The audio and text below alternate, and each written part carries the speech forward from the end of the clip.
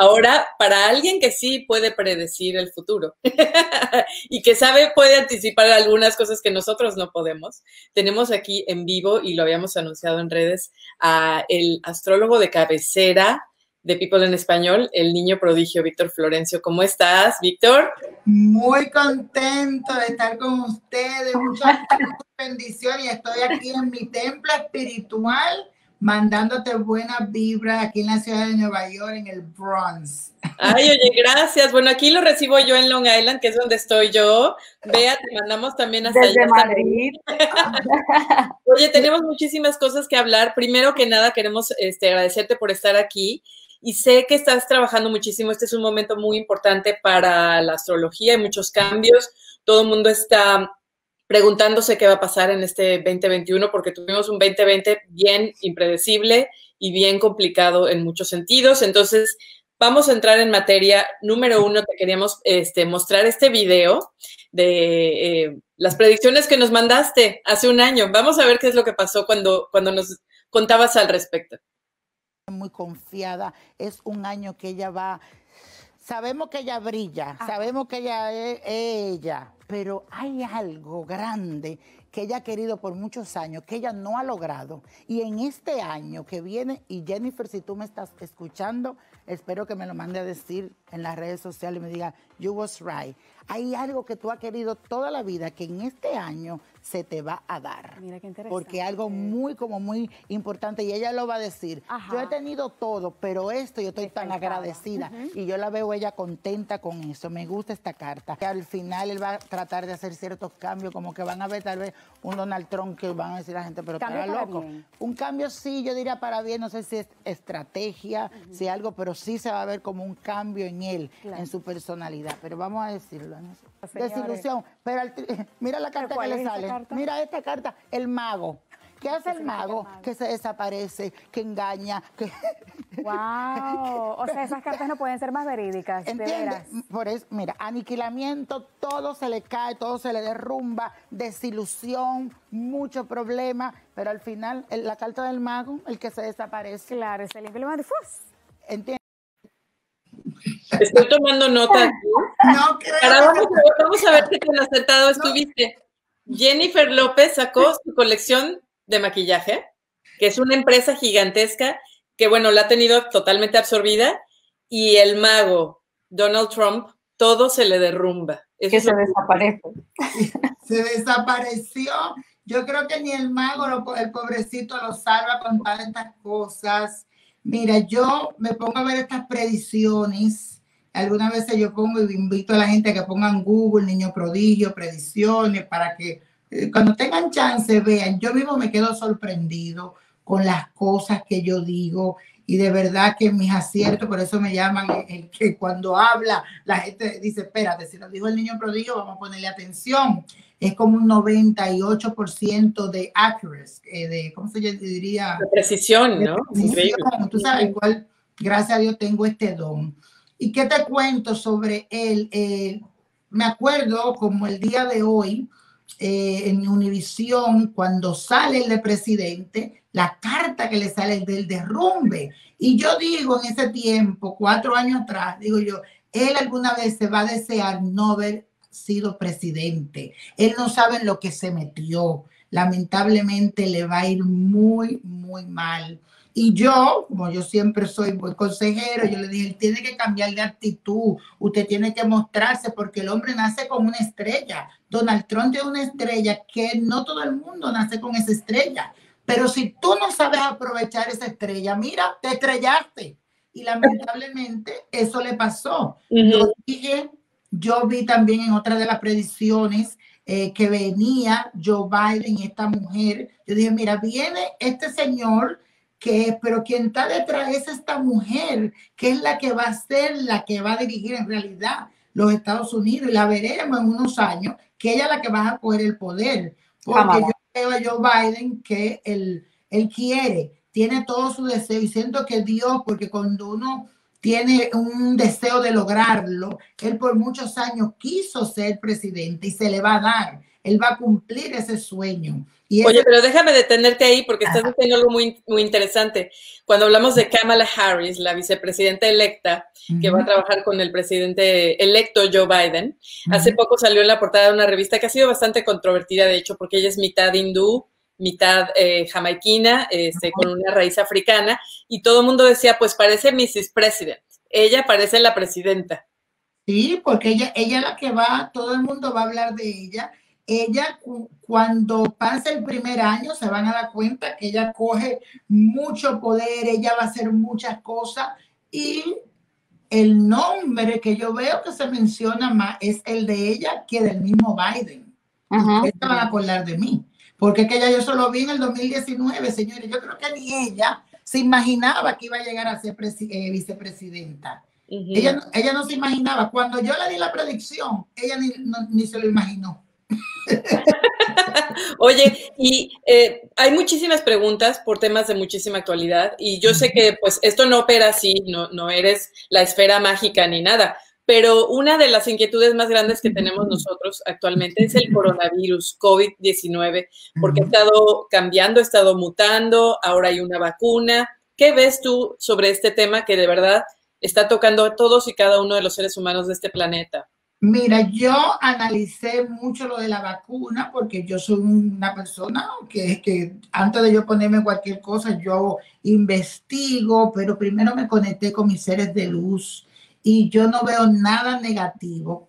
Como lo dije en predicciones pasadas, van a querer demandar incluso a, yo veo mucho con Pfizer, más que con Moderna, no sé por qué, pero es personas que van a buscar como tratar de buscar dinero, diciendo que esto le hizo daño, que esto, que aquello, porque como todo, ahí va a haber a personas que le va a dar alergia, a una persona le va a caer bien, otra no, pero en realidad si tú me dices a, mi niño, hay que ponerse la vacuna, yo te digo, sí, póntela. Otra cosa que vi, que lo tengo en mis predicciones, que se la voy a montar en mi página, que me, encantaría que me siguieran, porque así ustedes están al tanto. Yo dije, cuando salió la vacuna, viene otra vacuna que va a ser una sola que se va a aplicar. Yo estoy esperando por esa, pero si me tengo que poner la doble, pero yo vi que venía una sola vacuna que iba a hacer todo el efecto. Una sola dosis, estamos una hablando. Sola dosis, Porque Moderna y Pfizer que están aplicando en todo el mundo son,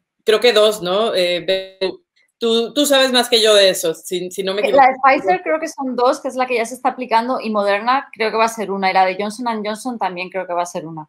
Y lo que dices de las reacciones del público es interesante porque estaba escuchando a Sanjay Gupta, el corresponsal de, que trabaja en coronavirus con CNN, y él decía, somos 7 billones de personas, 7 mil millones de personas. Lógico, uno que otro le va a hacer reacción, pero pues somos un montón, ¿no?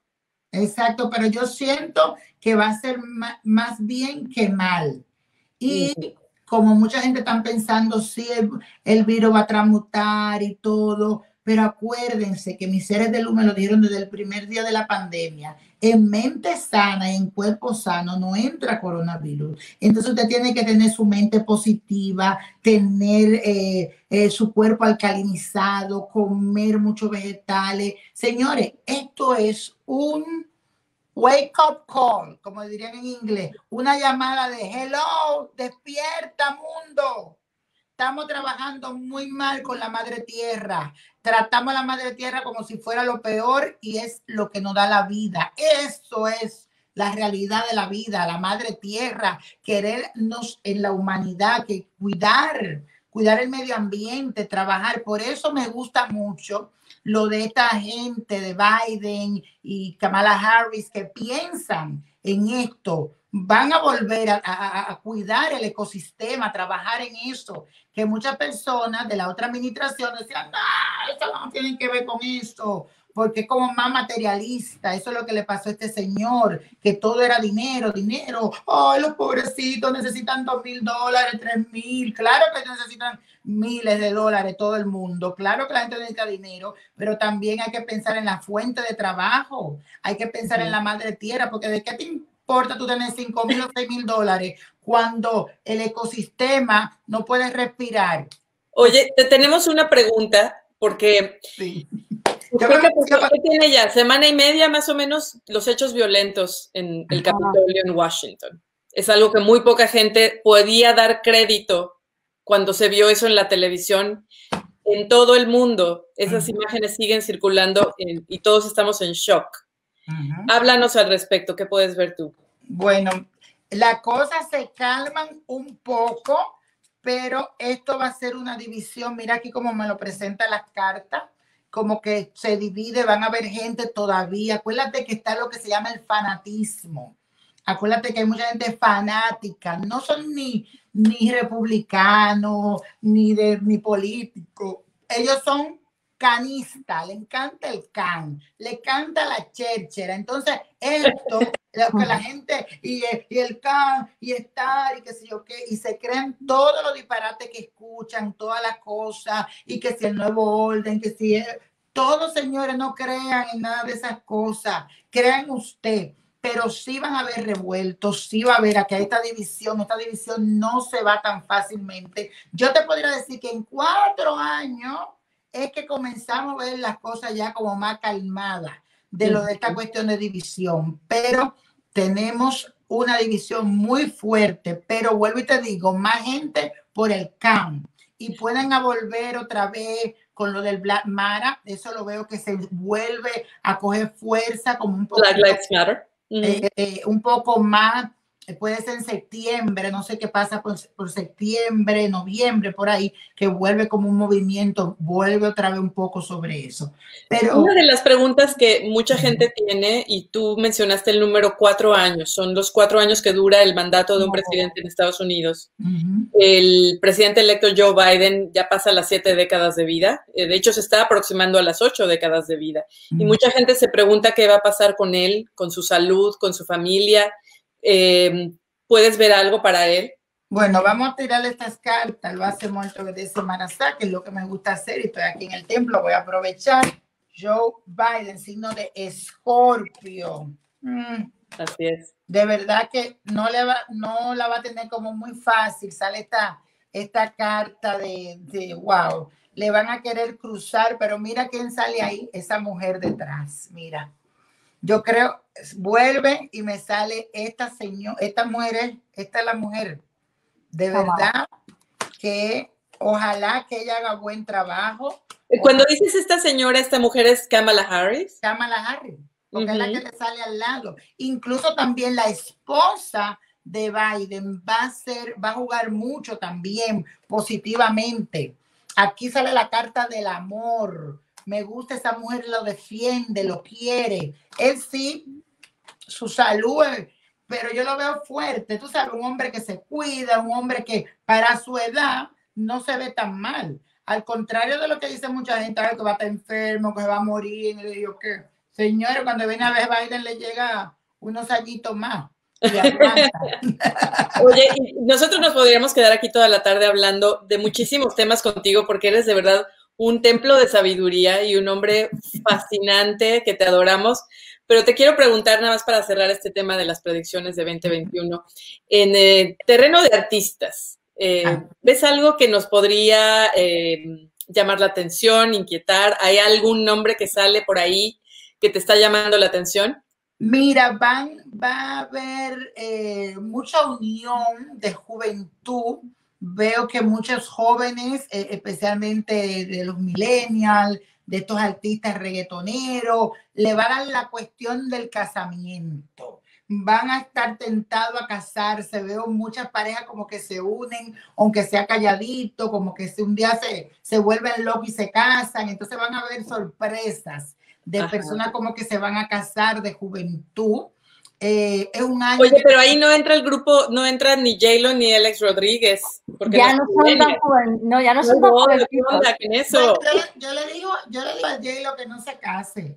Cuando ella se casa, siempre se lo he dicho, no le va muy bien en, esa cuestión de matrimonio. Yo le dije a ella que hiciera una, como una ceremonia espiritual, que haga algo simbólico. Pero al, al ella firmar documentos, firmar papeles, no le conviene. Siempre se lo he dicho, tú sabes que yo latino mucho con ella desde que estaba aquí en el Bronx. Eh, le he atinado siempre. Entonces yo le digo, mira, mi amor, disfruta, me encanta. Siempre la vi a ella con este hombre, con Ale Rodríguez, que le va a ir bien porque son dos leones. Yo dije, estas dos personas van a hacer tanto dinero juntos, se unen, mira qué bien le está yendo a ella, a él también, aunque él tiene que cuidarse mucho de demandas en este año. Así, porque va a tener como, acuérdate que cuando la persona comienza a progresar, comienzan los envidiosos, comienza la gente negativa, y Alex Rodríguez en especial tiene que cuidarse de demandas. Eso es curioso que lo menciones porque justo salió una demanda, ¿no? Hace ayer, me parece. Ay, Dios mío, señora. no tengo tiempo ni de ver televisión. Yo, yo, vivo en mi mundo. Tú sabes que yo vivo. Yo creo que el día tiene 24 horas y yo consulto casi 30. Y yo estoy en mi mundo, en mi, en, mi vida. Pero mira que, que, que, se cuide, porque mira, ya yo se lo estoy diciendo. Aunque aquí me sale Victoria, la carta de la Victoria. Yo ya que está, ustedes lo dijeron, mire, Victoria para él, que va a salir victorioso. ¿Y, a qué con, y a J-Lo, con eso que yo te dije que venía, se lo pronostiqué, ella ni se imagina, ella va a ser tanto, ella va a estar a nivel de la de la Kardashian, que la muchachita joven, ¿cómo es que se llama? Kylie. Kylie, que le fue bien con eso. Bueno, J-Lo, y lo digo aquí, va a superar esa marca de esa niña. ¿En serio? Wow. Jennifer López, acuérdate que te lo acabo de decir, y siempre latino con Jennifer López. Van a ver que van a decir, Jennifer López, lo cosmético supera a esta muchacha. Estamos grabando, ¿eh? No, no, no, eso es lo bueno de las redes, que antes la gente habla, ya esto queda todo aquí, mi amor. Oye, pero, por otro lado, yo tengo una, una preguntita. ¿A quién crees que no le va a ir tan bien este año? No sé si económicamente o personalmente. ¿Quién ves o qué sector ves que no va a funcionar tan bien este año?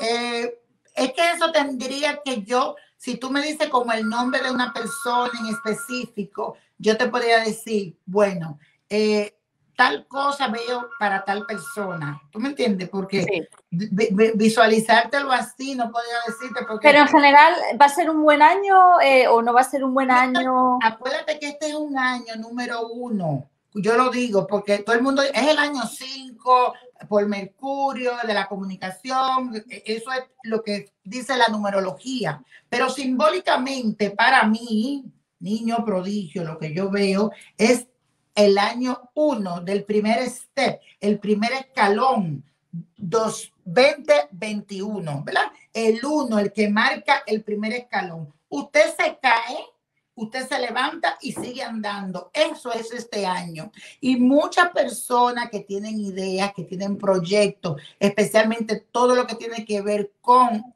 lo tecnológico, escúcheme bien, ahí le va a ir muy, muy bien a muchas personas. Todo lo que tiene que ver con relación de la tecnología. Acuérdate que estamos entrando en la nueva era de Acuario. Todo se pasa a la tecnología. Y ojo, mucho cuidado también porque van a haber muchos robos cibernéticos y robos de mano armada. Es un año de que cuidarse de robo. Yo lo escribí en mi revista que está a la orden para que lean más y se enteren más de qué yo veo en este año 2021 algo ya más astrológico, más espiritual. Es Niño Prodigio, la revista, que pueden adquirirla en mis páginas, en mis redes sociales, que Niño Prodigio, y lo invito a todos para que vayan. Pero en realidad, este es un año que hay que cuidarse de robos. Oye, niño, no te vayas sin hablar de unas favoritas que tenemos. Ajá, cuéntame, cuéntame. Échale la carta. Shakira Ajá. y Kim Kardashian y Kanye West que están en divorcio. Yo quiero saber qué va a pasar. Lo hace muerto que de semana está, lo hace muerto que de semana está. Sale la carta de los enamorados y sale Victoria. Puede ser que haga rumor de que vuelvan y se lo vean como de vuelta, como arreglado, pero yo creo que eso era algo que tarde o temprano tenía que terminar porque no se no siento amor real. ¿Tú me entiendes? Era como un amor fake, falso. Y este hombre quiere amor, quiere alguien como que lo quiera. Yo veo que él está en esa necesidad de alguien que lo quiera. porque siento que él no se sentía como amado. Nunca tampoco hubo como un acercamiento de familia. Veo que hubo mucho siempre como una relación muy fría, muy platónica, muy de, ¿entiende? Entonces, superficial. ella, por más que ella quiso ser ella, no. Aquí dice, no era ella en realidad, como que con él, eh, mm. mucho, era, fue una relación que yo te diría, fue buena para lo económico, para lograr ciertas cosas, pero en realidad... Ya tomó su curso. Siento que había más montaje que real. En la parte de Shakira, imagino que ustedes quieren saber, mira, ella está, sigue siempre como luchando. Ella es una mujer muy buena, muy, mira qué lindo el, coche de la victoria. Todo lo que esa niña toca es como una bendición porque tiene como tan buen alma, su buen corazón. Entonces todo a ella le fluye. Mira que yo siempre eh, lo veo a ella un poco separado. No sé si pues, tiene que ver mucho con, con la distancia, las cosas, pero ella ha sabido manejar esta relación con este hombre, porque el piqué no es fácil.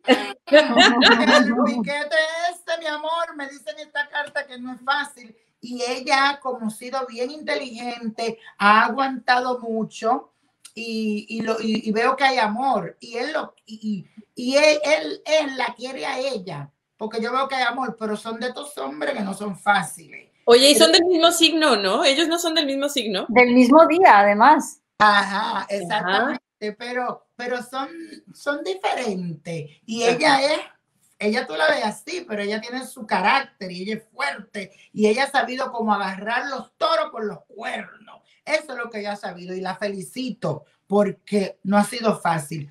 Es chiquita pero picosa. chiquita pero picosa. No, sí, muy, eh, eh, pero ha sabido trabajar esa relación. Es una persona que sabe, que, que, es inteligente, me encanta. Y ha aguantado, ha aguantado. Esperamos que, que así duren para mucho rato.